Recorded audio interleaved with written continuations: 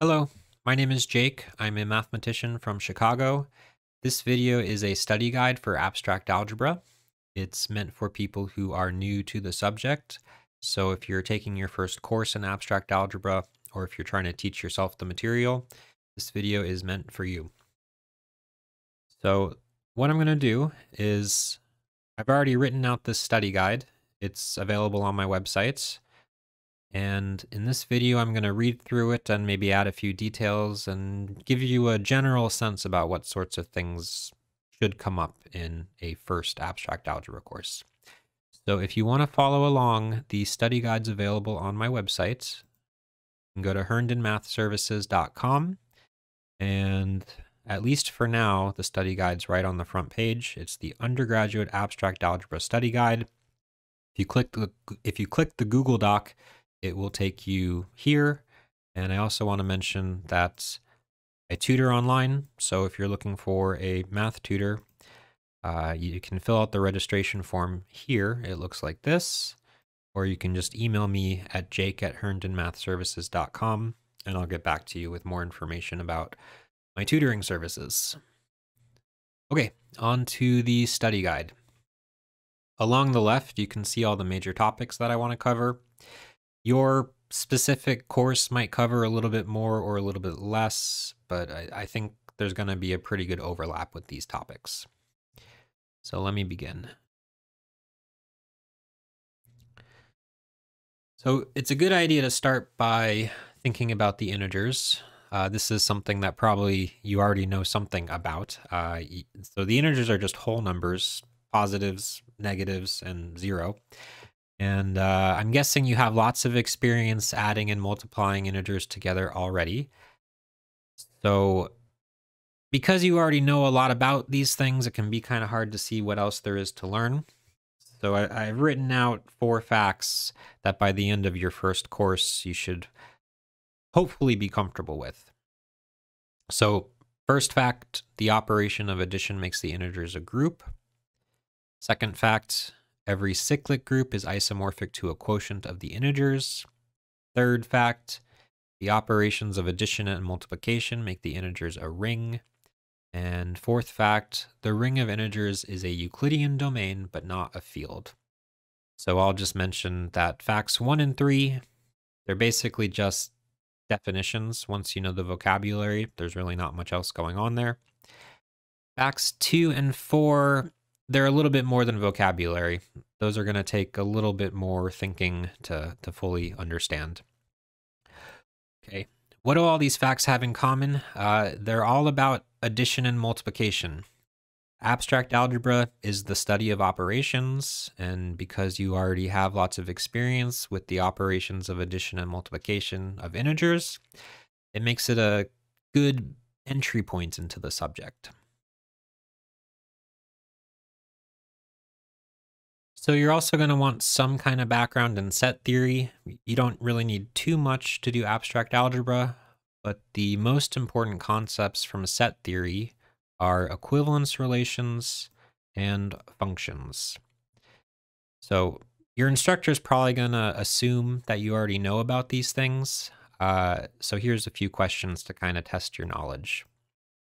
So question one a relation between sets x and y is a subset of the Cartesian product x cross y. What does this mean? So specifically, you should be able to tell me what a subset is and what a Cartesian product is. If you can do that, that's all I'm asking. Question two, every function is a relation. How? What does that mean? Question three, Every function defines an equivalence relation on its domain. What is this equivalence relation? So none, none of these are meant to be very deep. If you know how to answer these, then it should be pretty much straightforward how to do it.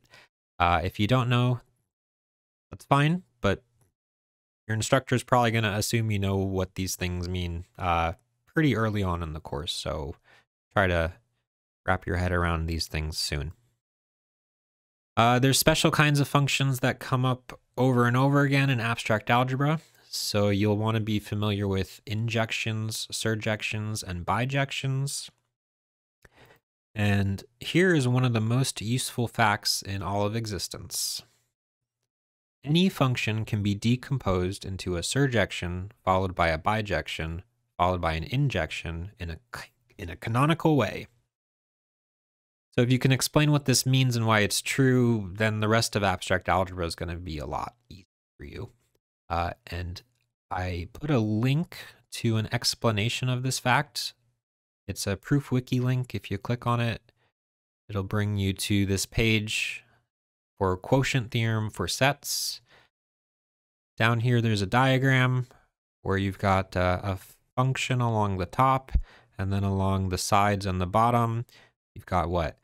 A surjection, a bijection, and an injection. I encourage you to look at this for as long as it takes to, to see what's going on. So the next thing I want to talk about is congruence and unique factorization. Um, so do you remember when you were a kid and you were doing long division? Um, also known as division with remainder, or sometimes people call it synthetic division. Uh, this comes up in an abstract algebra course.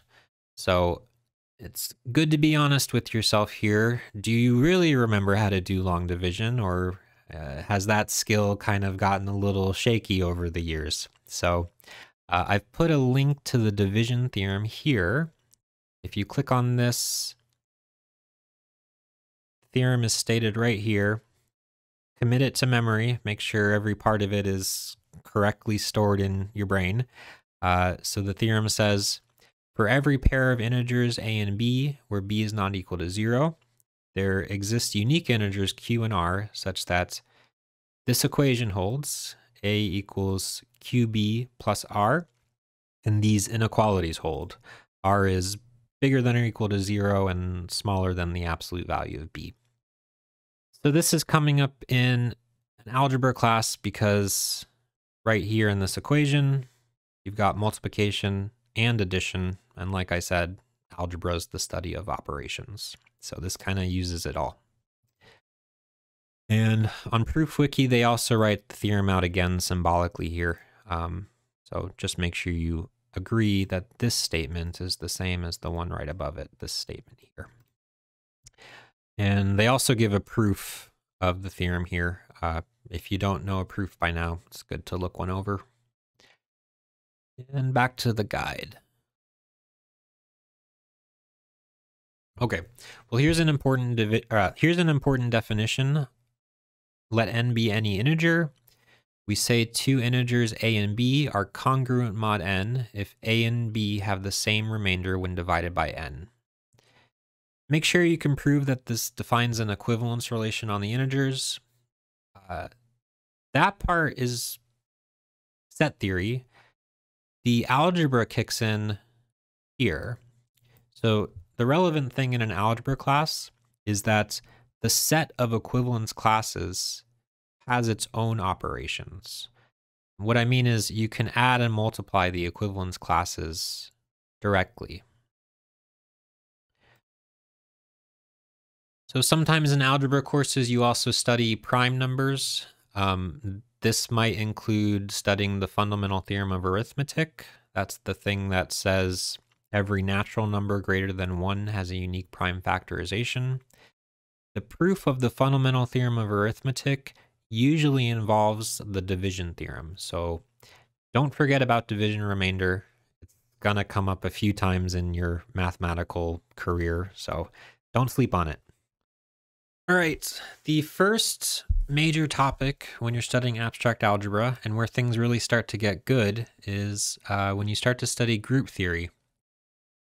So if this is your first time with, with the material, there's going to be a lot of vocabulary to learn. So here's the most important concepts, I think.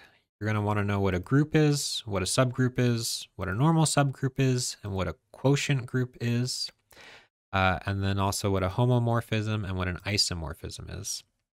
So if you don't already know those definitions, you can click on these links and it'll take you to the definition. So here's the definition for a group uh, somewhere in here.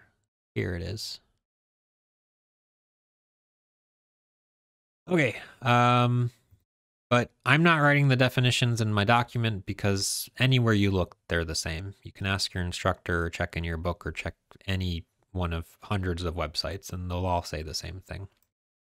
So what I do want to mention is uh, that memorization should be a normal part of your studies. So think about it like learning a new language. There's a whole language to talk about groups. And whenever you're learning a new language, start off learning a ton of vocabulary. Hopefully, after you've been using the vocabulary for after you've been using the vocabulary for a while, it's not so bad. Uh, it just kind of fades into the background, and you can actually say interesting things about that vocabulary. So, uh, studying math is a lot like learning a new language. Sometimes you should just kind of expect memorization to be part of it, for better or worse. Okay, uh, so groups, it's a huge topic. I've broken it up into a few subtopics. The first one is the isomorphism theorems. So the isomorphism theorems for groups they use all of this vocabulary. If you're still struggling with this vocabulary, there's no way you're going to be able to understand what the theorems are saying. So I've posted a, or not posted, but I, I've linked the first isomorphism theorem for groups here. You can read the statement if you want to review it. And I've also asked a few questions about the theorem here just to kind of test your knowledge. So Let's see how you do. Suppose G is a group. Question one. Every normal subgroup of G can be used to define a homomorphism whose domain is G. How is this done? Question two. If F is a homomorphism with domain G, then there is a normal subgroup of G associated with F. What is this normal subgroup? So once you know what the first isomorphism theorem is saying, answering these questions should follow pretty much straight from the theorem. Uh, next, I want to talk about examples of groups. Uh, there's tons of examples. Learn as many as you can. Uh, particularly, permutation groups are super important. Uh, permutation groups are also sometimes called symmetry groups. And there's a theorem called Cayley's theorem that's usually covered in a first abstract algebra course that kind of tells you why permutation groups are so relevant in group theory. So Cayley's theorem says every group is isomorphic to a subgroup of a permutation group.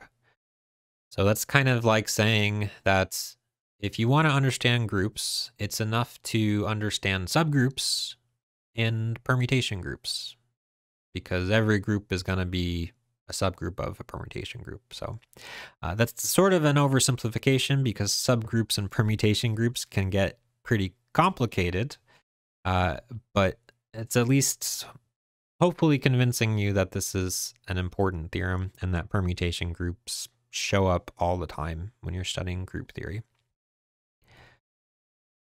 So Cayley's theorem is usually covered in the first abstract algebra course. Uh, but there's a corresponding fact about free groups that is sometimes not covered until a bit later.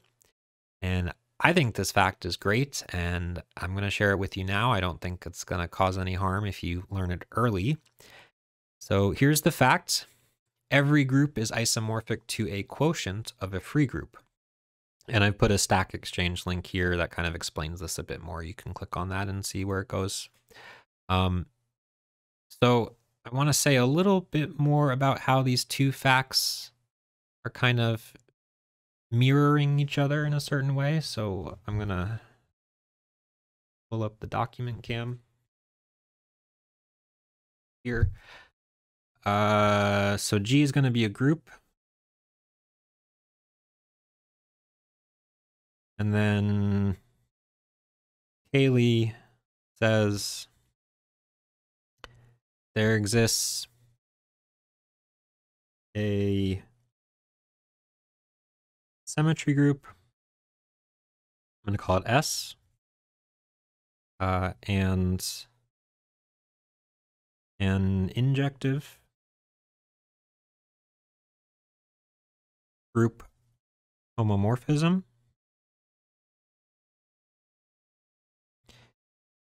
F, that's the name of the homomorphism, and it goes from the original group into the symmetry group.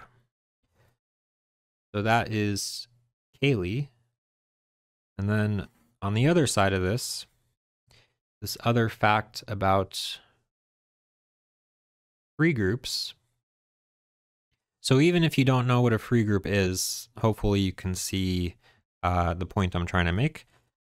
So let me write out here. This other fact says when G is a group,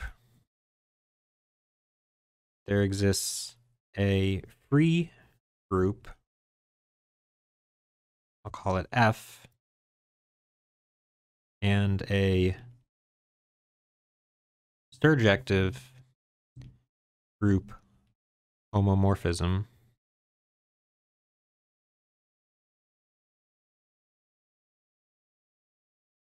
Starts with the free group and goes to the original group. So when you take these two facts together, the first one is kind of saying Symmetry groups want to be codomains of group homomorphisms, and free groups want to be domains of group homomorphisms. Uh, or you could also say uh, this first fact is saying groups want to be subgroups of symmetry groups, and groups want to be quotients of free groups. So, uh, Second fact isn't always covered until a little bit later, but free groups are one of my favorite topics, so there you go. All right, back to the notes. Uh, we could talk about permutation groups and free groups until the end of time, so we should probably not do that. The next thing I want to cover is uh, the product group. So when G and H are groups, First of all, groups are sets, so you can do things like form the Cartesian product of the two sets, G and H. That's the set of all ordered pairs, where the first entry comes from G and the second entry comes from H. And this is relevant in abstract algebra because the set of pairs can be given its own group operation. So the the most direct way to do this is using the group operation that's called the direct product. I've linked it here. So here's the formula for how the operation works. It's the only thing that you can always do. So you can see that G1 and G2, the coordinates in G, they just get multiplied together in the first coordinate. And H1 and H2, the coordinates in H, they just get multiplied together in the second coordinate. So I also want to mention that uh, depending on G and H, there might be lots of different operations on the product set that make it into a group. But this is the only one that's the direct product. There's also something called the semi-direct product, and there's something even more general than that. But uh, I think that's probably not going to be covered in your first course, so I'll leave that off for now. Other than the definition, there isn't much that a newcomer needs to know about the direct product, but if you are planning on studying a lot of math, you should learn the universal property of product groups. So uh, that's summarized by this diagram here. Really encourage you to take a look at this because the more math you study, the more these diagrams just come up. All right, a few other topics. Um, so by the end of your course, you will probably learn something about cyclic groups and abelian groups. Make sure you know what those things are. You'll also probably learn about the order of a group as well as the order of an element in a group. So here is a very short pop quiz about these things. So, uh, true or false? Every cyclic group is abelian. True or false? Every abelian group is cyclic. So here's a hint. One of these is true, the other one is false. And then here's a fill in the blank question about orders. Suppose G is a group and little g is an element of the group. The order of the element is what compared to the order of the group? So one of these inequalities or maybe the equality is going to be the right thing to fill in this blank. So I should mention a few famous theorems about finite groups that a new student will want to spend at least a little bit of time studying. The main theorems about finite groups are going to be these three. Actually, the third one's a collection of theorems, but so first is Lagrange's theorem, and I want to say something about these again. So we'll pull the dot cam up.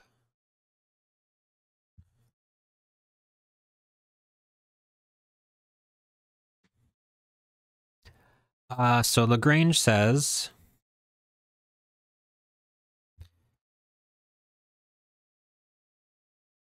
if H is a subgroup of a finite group G, then the order of H divides the order of G. Cauchy's theorem says something that kind of looks like the contrapositive of that or is it the converse of that? Yeah, the converse. Cauchy says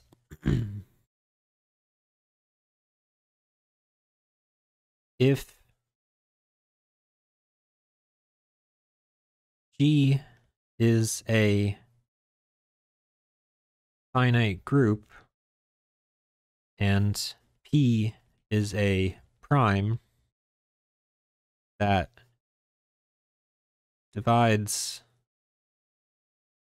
the order of G, then there is a subgroup of order P.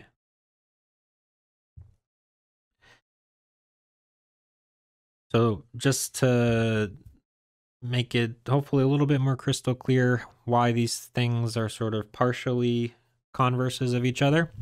Uh, this is saying if you have a subgroup of a finite group, the order of the subgroup has to divide the order of the group.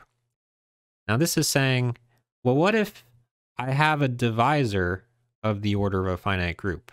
Am I guaranteed that there's a subgroup of order that divisor? The answer is no you need one extra thing. You need the divisor to be a prime.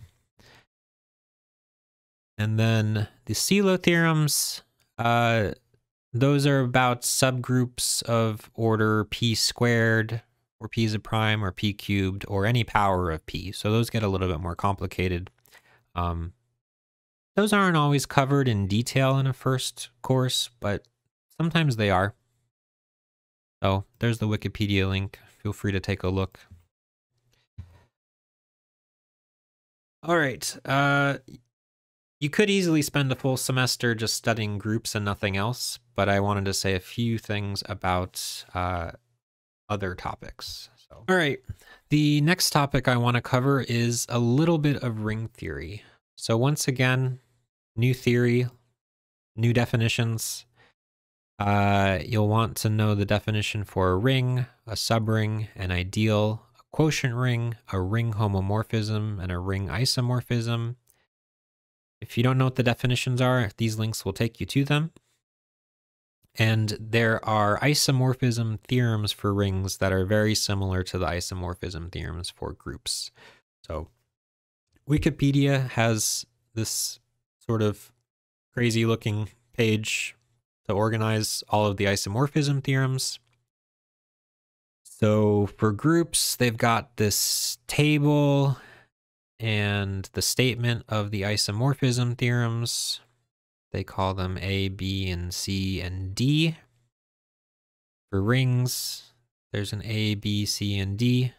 It's a really good idea to compare the eighth theorem for groups to the eighth theorem for rings and so on. Uh, you'll hopefully start to see what the analogy is. And then if you keep studying more math, there are isomorphism theorems for modules as well. But uh, I think those usually stay out of a first abstract algebra course. You won't learn about that until a little bit later. All right, uh, there are a few special kinds of rings that come up in an introductory course. So by the end of your course, you should be able to define the following special kinds of rings. So what is a commutative ring? What is an integral domain? What's a Euclidean domain? What's a field? And you should also be able to say how these concepts are related. Uh, so for example, every field is an integral domain. There's other uh, implications to learn. Wikipedia has a pretty good explanation of this here. This is on the page for rings under the subsection special kinds of rings. So this chain is a chain of special kinds of rings and uh, the ones further down the list uh, imply the ones further up the list. So I mean, every field is a Euclidean domain. Every Euclidean domain is a PID. Every PID is a UFD. Every UFD is a GCD. And every this is a that. Every this is a that and that. And they're all rings. So click around here. Uh, chances are if you are new to the subject, you'll find something interesting.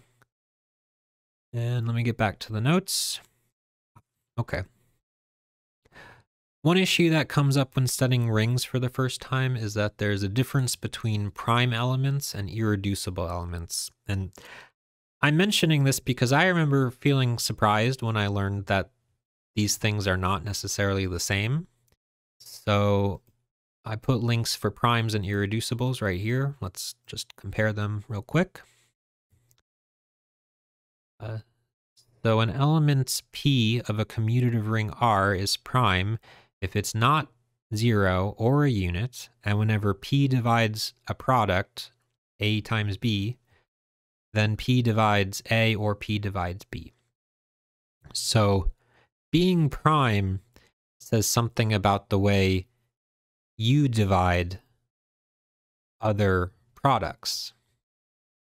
On the other hand, check out the irreducibles. Uh, so right along the top, a non-zero, non-unit element in an integral domain is irreducible if it is, not a product of two non-units. So being irreducible is saying something about the way other things divide you. So uh, the point I'm trying to make here is being prime, that has something to do with the way you divide other things. But being irreducible, that has something to do with the way other things divide you. And for the ring of integers, all the primes and irreducibles are the same. Uh, but for other fancier rings, they're not. So here's a true false quiz for you. Uh, true false, number one, in every integral domain, every prime element is irreducible. And number two, in every integral domain, every irreducible is prime. Here's the hints. One of these is true, one of these is false. So have a think. All right. Uh, the last thing I want to say is something about polynomial rings. So in an abstract algebra course, you might see the definition of a polynomial ring. And this is another area where you already have a lot of experience. Uh, so like you probably already know how to add polynomials and multiply them together. And I'm guessing you can also do polynomial long division. Uh, so because you already have all this experience, it might be kind of hard to see, well, what else am I supposed to learn about these things? So here is an example of a theorem That's only going to show up in abstract algebra. The theorem says any polynomial ring over a field is Euclidean. So even just to understand the vocabulary there is going to take a little bit of work. Um, but to understand the proof of this theorem, I, I think is a really great goal for a newcomer to abstract algebra. So you can read more about that here. There's a proof written out to that. Take a look if you'd like. Okay, uh, anything else you need to know from me?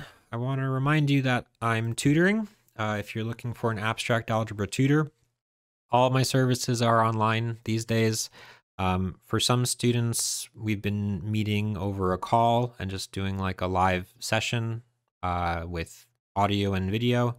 Uh, for other students, they prefer to uh, like email me their homework a few days before it's due and I can add comments and notes to their work and send it back so they've got a chance to do some revisions.